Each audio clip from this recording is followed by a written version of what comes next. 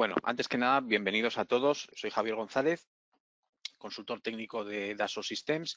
El objetivo de hoy es que, en primer lugar, desarrolléis un criterio propio respecto a la nube y podáis afrontar eh, la implantación, la potencial implantación de tecnología de nube. Ese es el primer objetivo.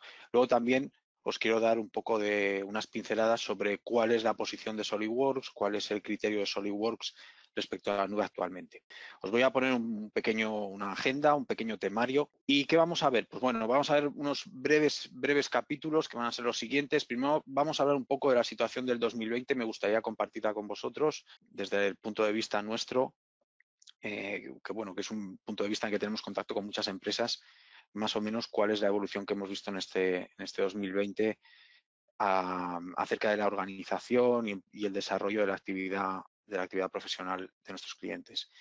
Luego también os enseñaré un poco cuál sería la manera de acercarte a la tecnología de cloud, a la tecnología nube, con unos pequeños requisitos que creemos que son imprescindibles, pero que no siempre se siguen. Luego hablaremos de diferentes tipos de nube. Eh, si vais a asomaros a la tecnología de, la nube, del cloud, tenéis que tener en cuenta que hay diferentes tipos y que no todos os van a dar las mismas prestaciones, desde luego. Por tanto, a la hora de elegir tenéis que tener eso muy en cuenta. Es algo que normalmente no se suele comentar, no se suele, no se suele valorar y eso tiene consecuencias en el 100% de los casos.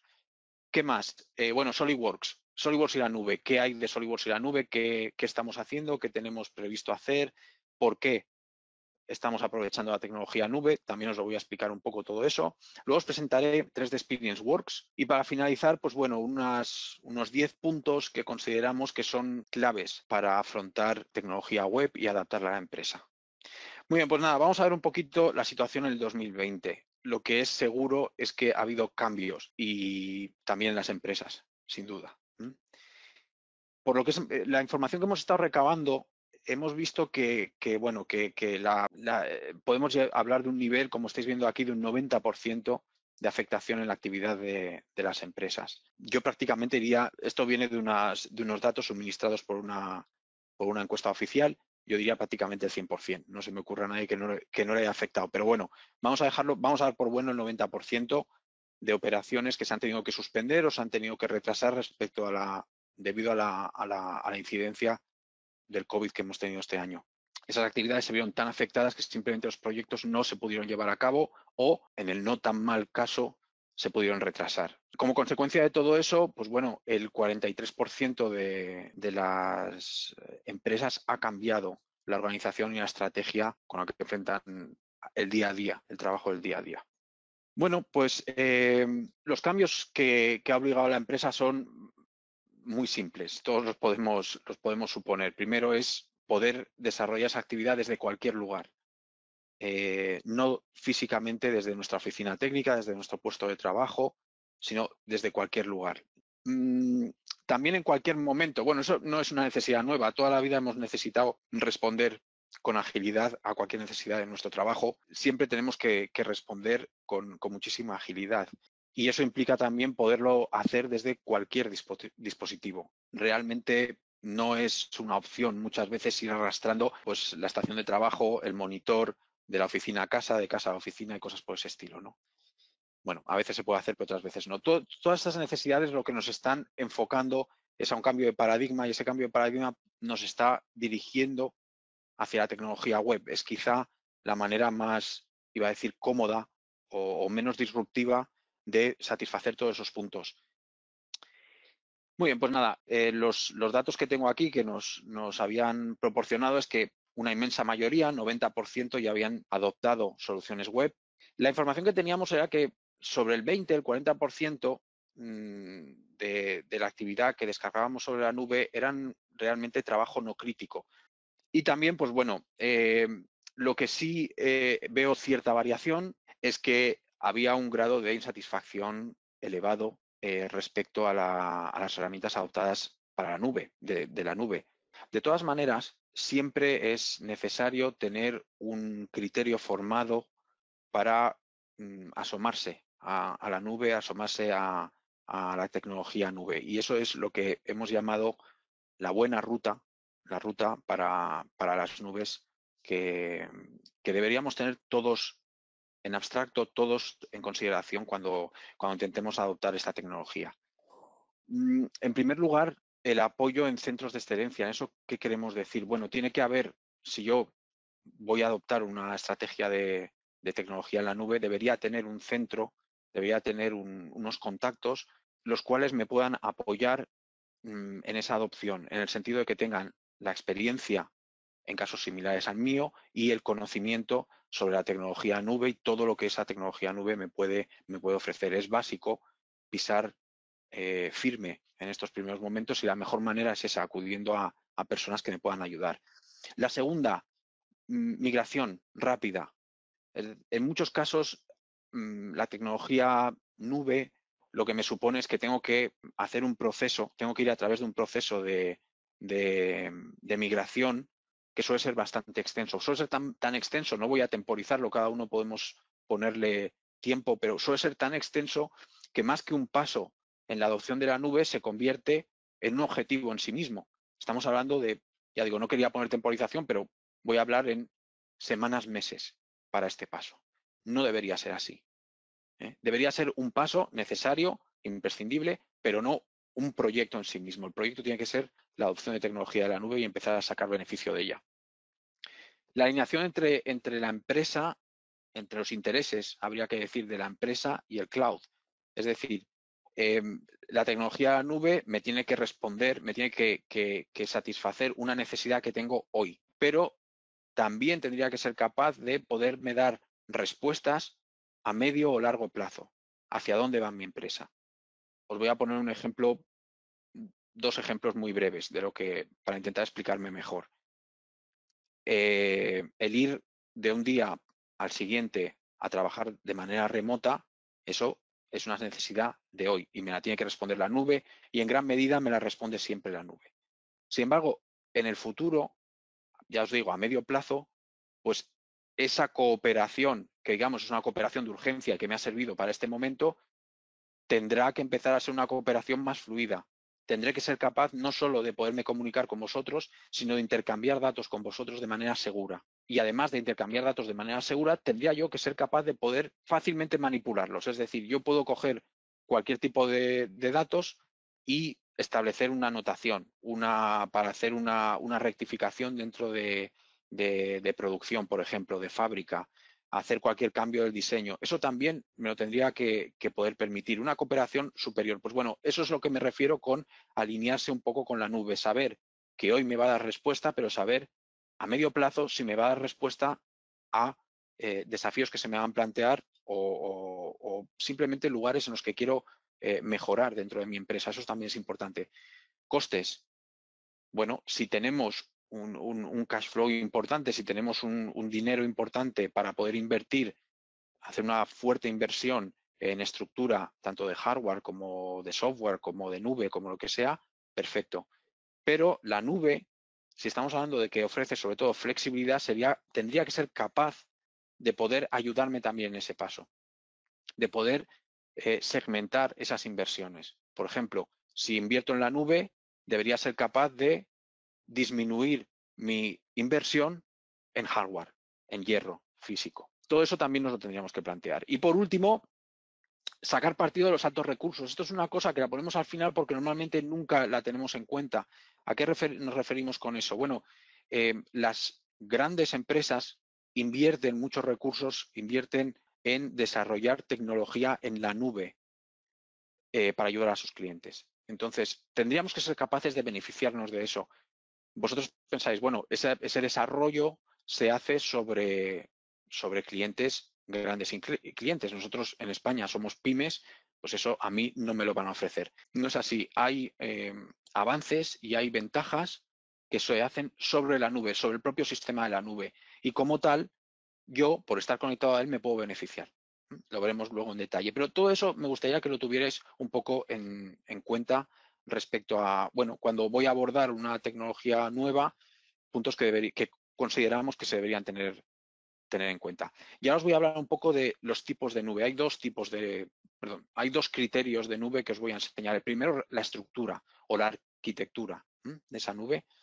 Si pensamos en cualquier oficina técnica, cualquier empresa, de hecho, siempre hay los tres mismos actores. El uno es mi estación de trabajo, mi portátil, llámalo como queráis. Otro sería dónde están mis datos, un servidor de datos que tendría de manera clásica en, mi cuarto de servidores con toda la estructura o podría tenerlo sobre mi propio portátil si, soy, por ejemplo, autónomo y el propio usuario. Esos tres actores siempre existen. Entonces, en función de estos tres actores, cómo estén situados respecto a la nube, tendremos tres tipos de nube diferentes. Vamos a verlo. en primer lugar, el primer lugar, ya os digo, es el planteamiento clásico, todo en local. Todo en mi oficina, en red, servidores, clientes, estaciones de trabajo, por supuesto. ¿Cuál sería el siguiente? Bueno, el, siguiente o, el primer paso para ir a la nube. El primer paso a la nube suele ser guardar los datos en la nube. Por tanto, sería mi estructura de servidores, mi estructura de, datos, la subiría a la nube eh, bueno, para tenerla ahí accesible. Este tipo de, red en el que tengo los datos es lo que veis aquí, infraestructura como servicio, IaaS. ¿De acuerdo? Lo llamamos así. Y simplemente es eso, guardar datos en la nube, pero el resto sigue estando totalmente local en la empresa.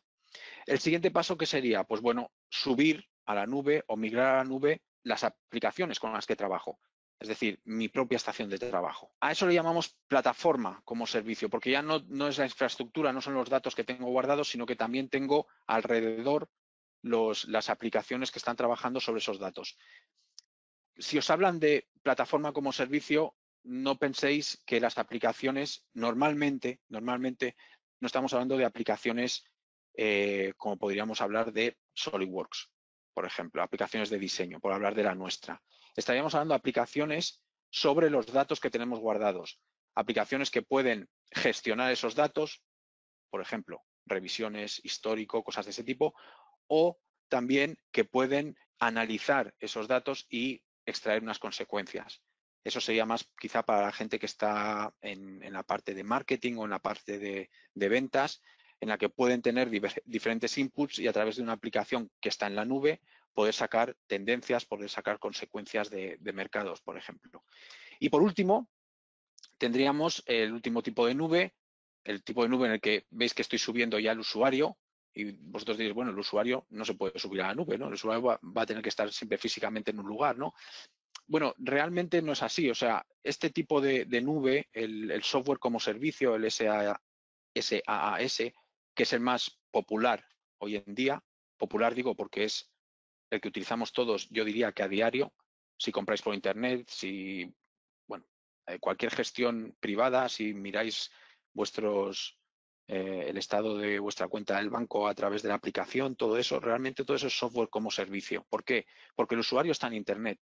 Eh, toda vuestra información está en internet, aunque vosotros lo manipuléis físicamente desde, desde un terminal, toda vuestra información está ahí arriba. Por tanto, a efectos prácticos, el usuario, toda la información, todo lo que necesita para ejecutar cualquier tipo de acción está subido arriba. Eso es software como servicio. Es la que engloba todo, pero sin embargo es la más, la más popular.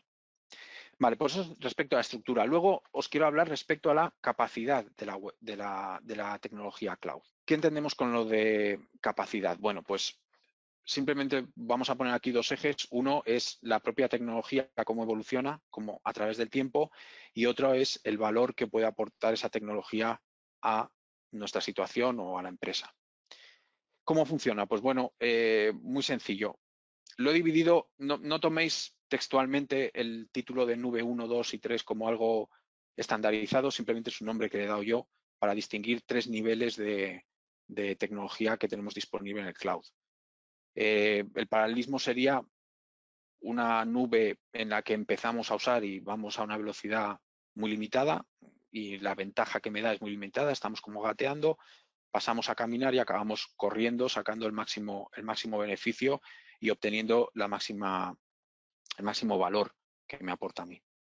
Bueno, ¿en qué se distinguen estas tres? Que ya os digo, el nombre no, es, no lo toméis como algo eh, oficial eh, ni estandarizado ni mucho menos. Solo, son tres niveles.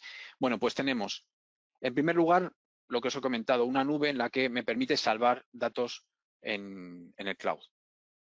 Ya está. Eh, simplemente yo podemos dar muchos nombres, desde Google Drive podéis pensar en cualquier otro tipo de Dropbox o cualquier otro tipo de, intercambio de ficheros en la nube. Me permite salvar esos, ficheros y, intercambiarlo con otra gente si le doy permiso para ello. Únicamente eso. Ese nivel siempre precisa de una gestión local, de un software local que es el que genera ese documento, llamarle X, y luego yo con posterioridad lo subo y lo comparto en la nube. Eso de entrada, ¿qué ocurre? Bueno, pues me crea una duplicidad de, archivos que tengo que tener muy bien controlada. Tengo mi archivo en local y tengo un archivo que subo a la red. Tendré que estar pendiente siempre que esos dos archivos estén sincronizados, que, no haya errores, etcétera. Luego tendríamos un siguiente nivel de nube. En este siguiente nivel de nube, pues bueno, ya, ya sí tenemos una gestión de esos archivos más, más directa respecto al cloud. Es decir, yo puedo subir archivos seguramente desde la propia aplicación. No necesito hacer un, crear un fichero en local y luego subirlo al cloud, sino que directamente lo podré subir al cloud.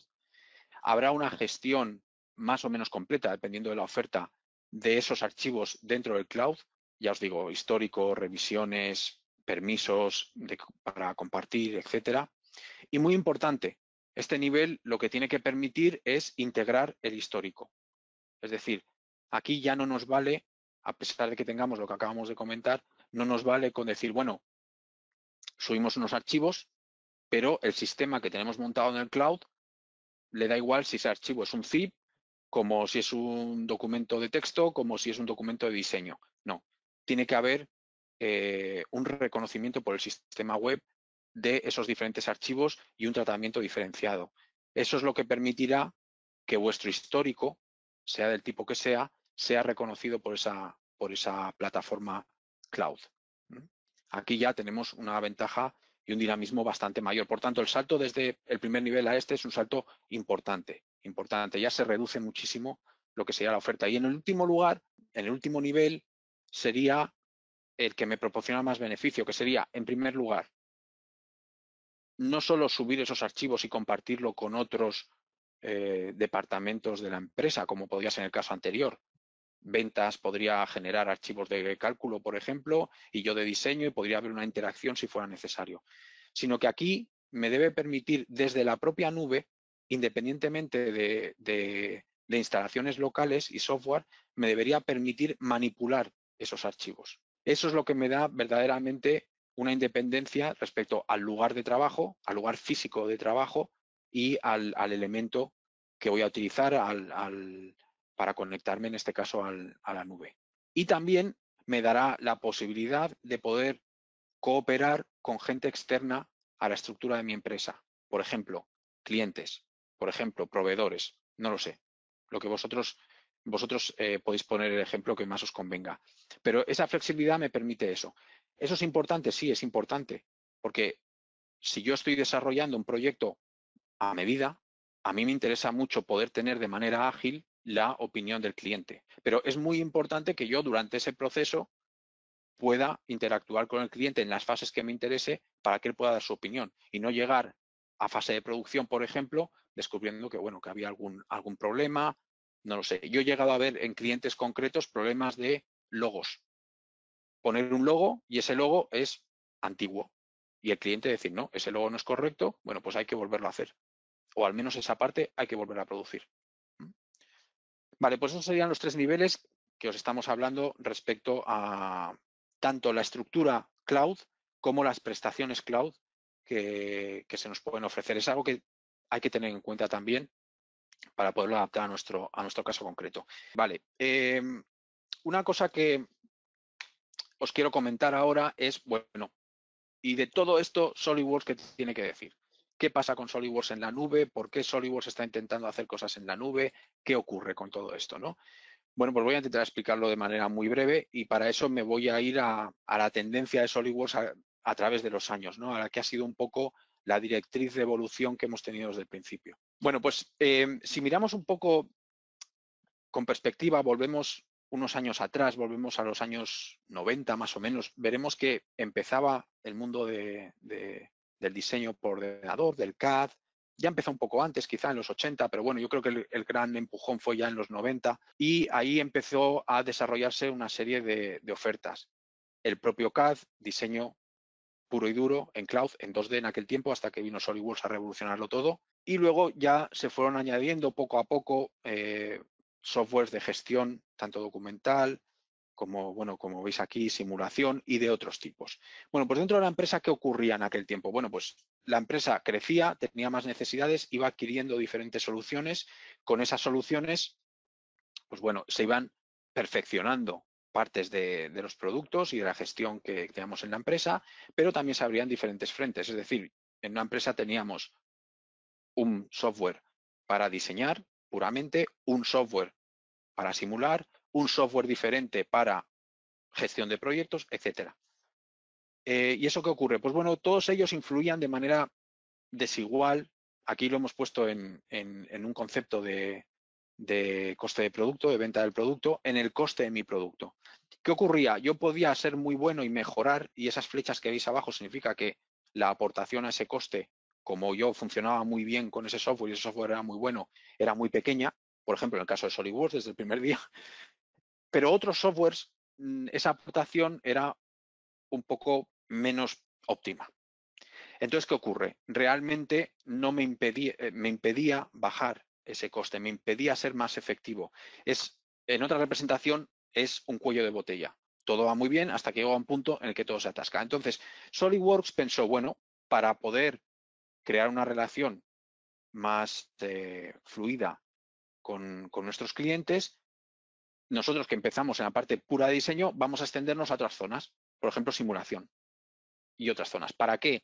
Para que hable el cliente con una sola persona y todos esos problemas o todas esas dudas que pueda tener las resuelva solo con nosotros en lugar de tener que poner de acuerdo a cuatro personas y cuatro empresas diferentes. ¿no? Un poco esa era la idea. Mm, como veis aquí un poco la evolución, ¿no? Bueno, pues desde que se funda SolidWorks se va extendiendo, va incrementando su, parcela de clientes y va apareciendo otros hilos dentro de la empresa a los que se extiende. Aquí veis desde la parte de electrónica, a representación de representación del proyecto, de documentación, gestión documental, etcétera, hasta el día de hoy, en el que la última, si no recuerdo mal, la última, mm, el último software añadido, no software añadido, sino la última prestación añadida la llamamos SolidWorks Manage, que sirve para, para bueno, control de proyectos, etcétera, hasta el día de hoy en que estamos con, eso, con unas 6 millones de, licencias. Pues bueno, pues eso, eso fue el plan, perdón, eso fue el plan de SolidWorks, atacar esas, esas zonas y tratar de condensarlas en una. ¿Por qué? Eh, SolidWorks, ¿qué es lo que ofrece realmente al cliente? Ofrece un proyecto. Da igual si ese proyecto se tiene que hacer una simulación sobre él, se tiene que hacer diseño neumático, electrónico, mm, lo que queráis. Es un proyecto único una fuente de verdad, como se suele decir ¿no? en, inglés. La competencia no tiene esa oferta, sí tiene todas esas ofertas, diseño electrónico, eléctrico, neumático, mecánico, todo lo que queráis, pero no es un proyecto.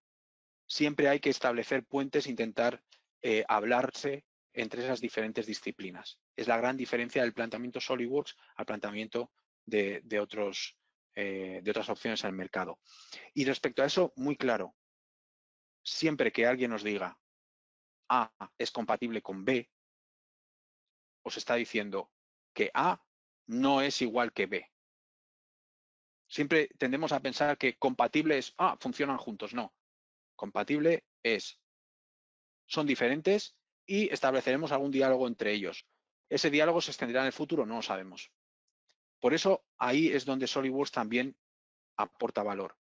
Nosotros no somos compatibles con nosotros mismos, evidentemente, sino que somos, eh, ofrecemos una solución de SolidWorks que se extiende a muchas partes distintas. ¿Qué ocurre respecto a, esas zonas a las que todavía SolidWorks no ha aparecido? Bueno, pues se están trabajando, se llevan trabajando ya desde hace tiempo, de hecho, años, y es en las que mayoritariamente hemos empezado a utilizar tecnología nube. Aquí os he puesto algunos ejemplos de aplicaciones que podemos usar eh, diariamente para diferentes eh, necesidades, diferentes áreas de, vuestra actividad. No hay nada de malo en ellas. Lo único, lo que comentábamos, en el momento en que intentemos compatibilizar una con otra, pues bueno, ahí ya entra un poco la inspiración y el arte. Porque una empresa X que hace un producto no tiene en principio ninguna necesidad de ser compatible con otro producto y que estáis utilizando en la empresa. Puede ser, puede no serlo. Entonces, aquí entra el concepto de 3D Experience Works. 3D Experience Works, ¿qué es? Bueno, pues es muy sencillo. Esas partes que habéis visto anteriormente que SolidWorks se va a extender, se ha considerado que la tecnología cloud, la tecnología nube, ofrece muchas ventajas tanto para el desarrollo de las mismas como la proyección en el futuro. Entonces, bueno, en la nube, ¿qué tenemos? Bueno, pues ahora en la nube, con SolidWorks, tenemos, por ejemplo, capacidad de gestión de proyectos.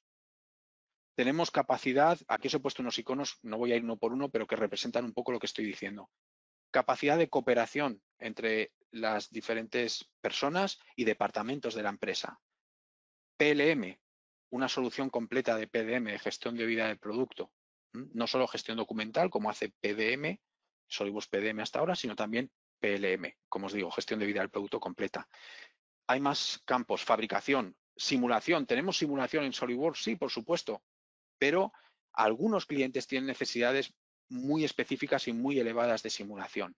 Bueno, pues también están. Y por un tema de rendimiento, a través de la nube, conseguimos que, eh, esos cálculos y esos estudios sean más efectivos y en menos tiempo. Bueno, todo esto, todas estas soluciones, lo veréis en algunos documentos, en algunas publicaciones, le llamamos 3D Experience. Y eso, ¿cómo funciona o cómo afecta a SolidWorks? Bueno, pues lo que os comentaba antes, 3D Experience no es algo compatible con SolidWorks. Somos la misma empresa, todo funciona sobre lo mismo. Por tanto, a día de hoy tenemos en local podríamos estar funcionando con SolidWorks, el de toda la vida, clásico.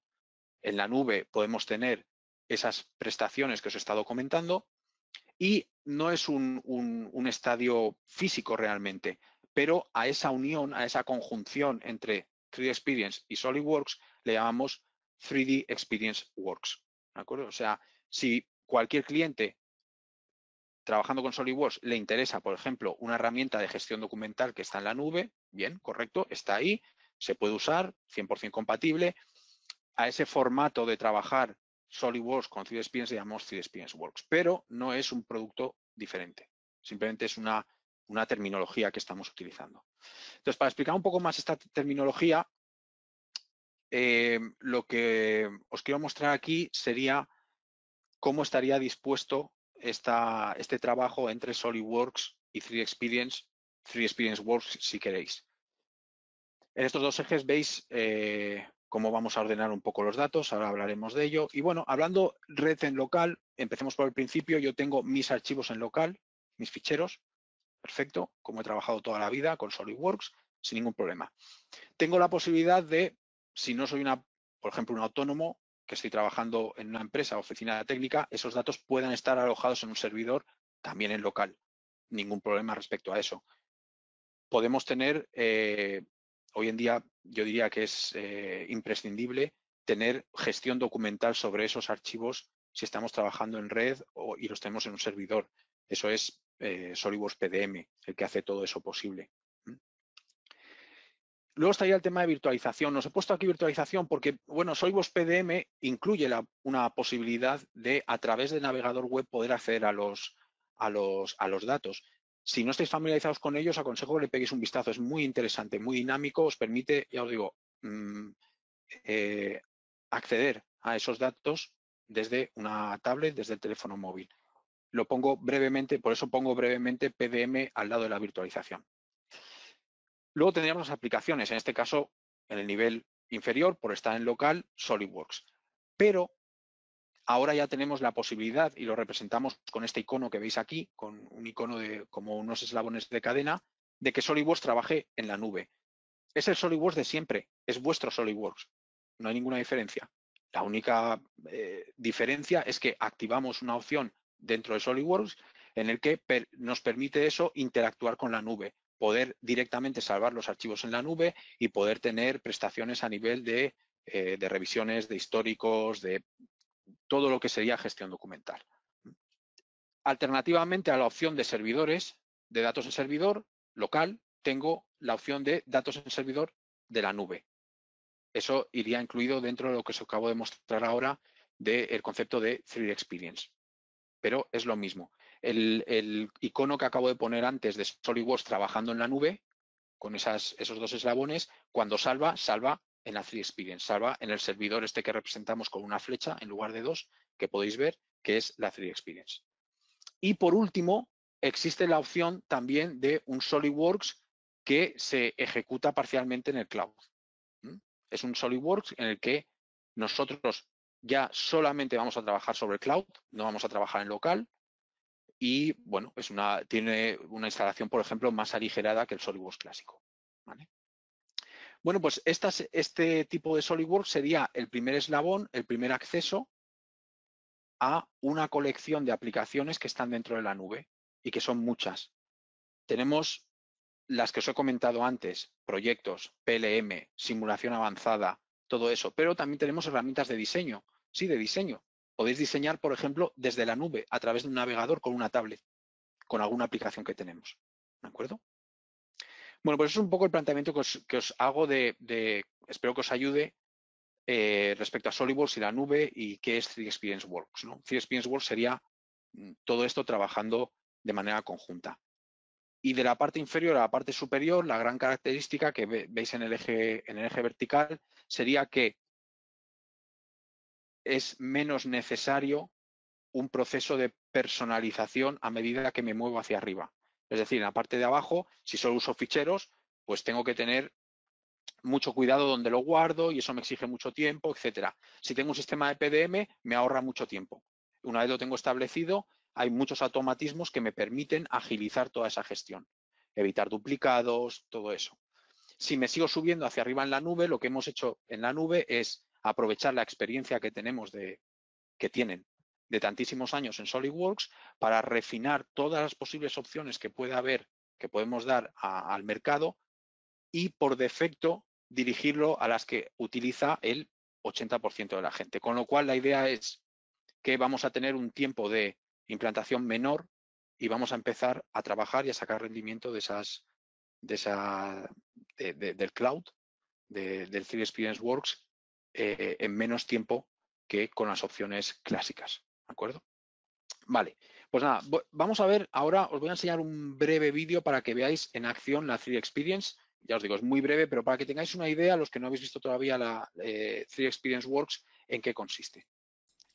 Bueno, pues aquí tenemos un vistazo de la 3 Experience Works, de SolidWorks con la 3 Experience. Aquí estáis viendo lo que sería el escritorio de la 3 Experience la vista de la City Experience que yo como usuario me he creado y con la que me siento cómodo.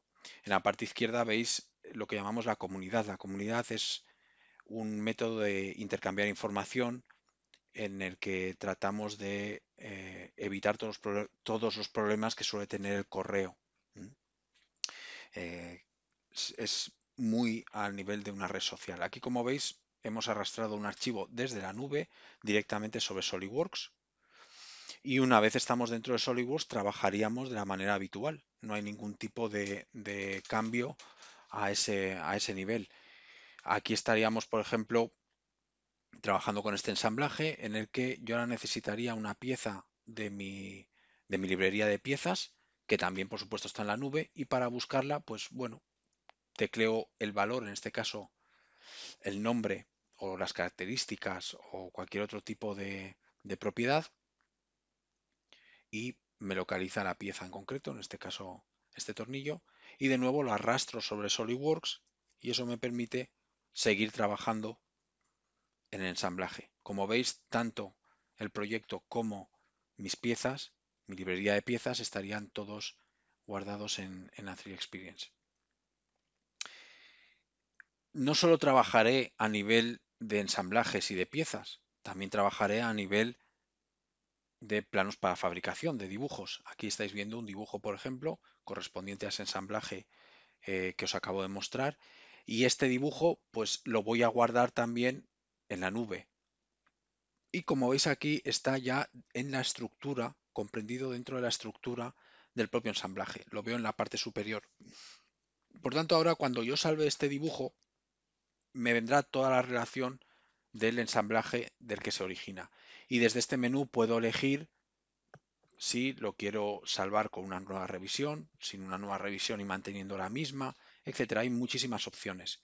Si quiero eh, incluirlo dentro de una estructura determinada que yo me he creado en la nube para mis ficheros. Hay muchísimas opciones, pero desde aquí, desde, desde SolidWorks, tengo toda la vista, toda la información de mis archivos de la 3 Experience.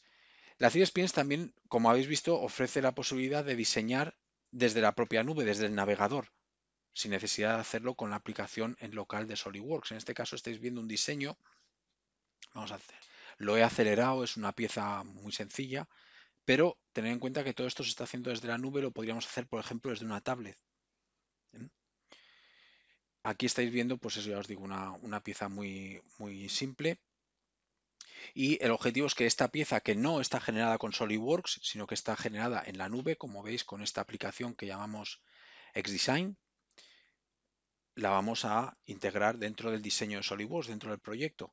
La 3D Experience es, eh, vamos a decirlo así, multiplataforma. Podemos tener diferentes tipos de, de, de software de diseño que estén colaborando en un mismo proyecto. Aquí que estáis viendo manipulación de tareas. Aquí se está creando una tarea concreta que se va a asignar a una persona con una duración determinada y que eh, además vamos a especificar sobre qué elementos se va a realizar esa tarea. Aquí veis que se ha asignado a la persona, a Eric. ¿Y sobre qué va a trabajar Eric? Pues sobre este conjunto que yo acabo de seleccionar. ¿Eso que me permite? Me permite que Eric, cuando reciba esta tarea, no tenga que andar buscando, no hay una posibilidad de error, sino que desde la tarea va a acceder directamente a ese conjunto y sabe que lo tiene que editar. La, posibilidad de error se disminuye prácticamente a cero, se minimiza totalmente. Podéis, se pueden incluir, por supuesto, cualquier tipo de aclaración o comentario al respecto. Y cuando esa tarea esté completada, se podrá incluir en la parte de entregables el resultado final de esa modificación o de esa tarea que se ha hecho. Una vez se ha creado, pues la persona en concreto que hemos, hemos estado diciendo antes que era Eric, si no recuerdo mal, pues podrá empezar a primero ver esa lista de tareas que, que tiene abiertas, acaba de recibir la que, la que se acaba de crear, ver sus características y, como os decía, empezar a trabajar solamente desde ese contexto, sin, sin necesidad de irse a ningún otro lugar. Aquí veis que podemos abrir directamente el conjunto que se ha incluido y ahí lo tenemos. Y a partir de aquí empezaríamos, estamos de nuevo en SolidWorks, Eric utiliza SolidWorks y va a utilizar esta pieza que como habéis visto hemos creado antes directamente desde la plataforma, pero que no hay ningún problema en abrirla dentro del propio SolidWorks y utilizarla dentro del ensamblaje en el que estoy trabajando. De esta manera tan sencilla podemos interactuar con la nube desde SolidWorks, pero también desde la nube pueden interactuar otros usuarios que no tengan SolidWorks. Eso se abre un poco a lo que estábamos comentando, no solamente el área de diseño, sino otros departamentos que pueden haber en la empresa. Como siempre tenemos control sobre todos los cambios, sobre cada registro de pieza o de conjunto que vayamos a hacer. Aquí lo estáis viendo. Ya os he comentado antes que había muchas opciones para poder guardar esa información de una determinada manera. Y una vez que ha salvado, Eric habría cumplido con su parte, su tarea está finalizada y por tanto ahí ya eh, estaría, finalizado y se comunicaría a la persona que, la creó. Eh, os enseño también brevemente Xshape. Xshape es una aplicación que existe también en la 3D Experience y que me permite crear formas orgánicas, formas con tecnología sub, sub-D o subdivision. Aquí lo que veis me crea a partir de lo que llamamos un primitivo, que es eso, una forma primitiva, una forma muy, muy embrionaria del diseño final que voy a conseguir. Elijo esa forma, la que más se, se ajusta a, bueno, a lo que intento conseguir y a partir de ahí empezamos a hacer las modificaciones oportunas. Como veis, trabajar con esta tecnología es muy dinámico, podemos hacer cualquier tipo de, de modificación prácticamente como si estuviéramos trabajando con, con, arcilla y pues eso nos permite hacer eh, formas eh, de tipo orgánico. Eh, hay muchos recursos para generarlas, se pueden utilizar plantillas como por ejemplo de fotografía para poder hacer esa forma muy cercana a esa, a esa fotografía que hemos, que hemos seleccionado como modelo. Y como veis pues bueno aquí está formando esa parte la parte que sería de, la parte superior del pie, en, esta prótesis, para dar un aspecto más, más orgánico, más, más finalizado. Y una vez esté acabado, estamos trabajando sobre, como habéis visto, el diseño que fue antes manipulado desde SolidWorks y queda completamente integrado. Estamos trabajando total, la visión desde la 3 Experience será total de todos los componentes. Podemos ver aquí eh, en una vista que es bastante espectacular todas las piezas cómo se van expandiendo de manera independiente y de nuevo desde la propia 3 Experience podríamos hacer cualquier tipo de observación, comentario, área de modificación, etcétera. Aquí estáis viendo un pequeño comentario y una vez está hecho esa vista, la podemos volver al punto donde empezamos, que es la comunidad donde compartimos la información. Nada, pues quería simplemente enseñaros eso, un, vistazo a Experience y para acabar, pues eh, enlazar un poco con lo que estábamos hablando antes, con el concepto eh, que ha habido desde, desde el principio en SolidWorks y que sigue, sigue permaneciendo. Es decir, vamos a cambiar los, los, campos que hemos visto anteriormente respecto a la evolución de SolidWorks, que eran muy específicos de diseño, y lo vamos a expandir, lo vamos a hacer horizontal a toda la empresa. La situación es la misma. Tendréis una fuente de verdad, un lugar, un proyecto. No habrá que generar puentes, que, generar eh, bueno, eh, recursos adicionales a los propios softwares para que se hablen entre ellos, ni duplicidad de datos. Eh, y nada, simplemente para acabar, lo que retomando también otro tema que hemos estado hablando, el decálogo en la nube de SolidWorks, respecto a los cinco principios que os habíamos propuesto que hay que tener en cuenta. ¿Qué consideramos? Bueno, pues primero, eh, lo que os digo, apoyaros en centros de, excelencia, en gente con experiencia, gente con el know-how, gente que, domina la tecnología. En el caso concreto nuestro, eh, nuestro canal de distribución de, SolidWorks, y una serie de iniciativas que tenemos. He puesto ahí FuiLoop, es una iniciativa eh, que tenemos desde para cooperar con vosotros mejor, si es posible. La migración de los datos, hablando ahora ya de SolidWorks, como os estoy diciendo, hay un proceso, hay un procedimiento, mejor dicho, establecido para ello, automático, en el que todos vuestros archivos de SolidWorks son migrados a, la 3 Experience, a la nube y son reconocidos además eh, tanto eh, el tipo de documento, eh, conjunto, cualquier tipo de conjunto, una pieza, un ensamblaje, un, dibujo, pero también, por ejemplo, las operaciones que están dentro de cada uno de esos, elementos también son reconocidas desde la nube. lo que habéis visto, SolidWorks crece, somos horizontales a toda la empresa. Eso lo que hace es que redunda en, la mejor cooperación entre diferentes departamentos si es algo que os habéis planteado en algún momento. Por supuesto, tecnología cloud, estamos hablando de, hemos hablado de facilidad de movimiento de personas desde diferentes lugares y luego la posterior cooperación entre ellos sin tener en cuenta el lugar en el que están. Y siempre el cliente decide, no SolidWorks. Es decir, nosotros tenemos el planteamiento de 3D Experience con, todos los beneficios que os estamos hablando, seguimos teniendo perfectamente SolidWorks de toda la vida, el que conocéis y, habéis utilizado durante tanto tiempo, los que sois usuarios, es vuestra elección. Realmente nosotros no dirigimos hacia un lado o hacia otro. Es una oferta añadida. Tenéis la opción de pago por uso, por supuesto, en la parte de, de, de la 3 Experience. Con eso me refiero que Mm, por ejemplo, hemos hablado de simulación de alto nivel, simulación muy, muy evolucionada. Bueno, eh, quizá invertir en eso, mm, en una licencia permanente, quizá no, no, convenga por el coste que puede comportar y porque a lo mejor no tenéis necesidad de hacer ese tipo de análisis de manera continua. Bueno, pues se puede adquirir a, periodos. Eh, una cosa que tiene la nube de buena es que no hay más paros técnicos a nivel de parar de trabajar que hay que actualizar, parar de trabajar que hay un service pack, todo eso es completamente invisible al usuario, pasa por atrás y simplemente nosotros vemos que bueno, ha habido una actualización y seguimos trabajando de manera, de manera normal. Y nos permite no independencia del, hardware, aquí eh, no sería adecuado decir independencia del hardware, no tenemos independencia del hardware, pero sí una gran flexibilidad respecto al hardware. Eh, si veis, si vais a la página web de SolidWorks, al canal de YouTube de, de Latinoamérica y España, veréis que hay muchos vídeos en los que manipulamos piezas desde una tablet directamente. Entonces, pues eso nos da cierta flexibilidad. ¿eh? pero independencia realmente nunca tendremos independencia total.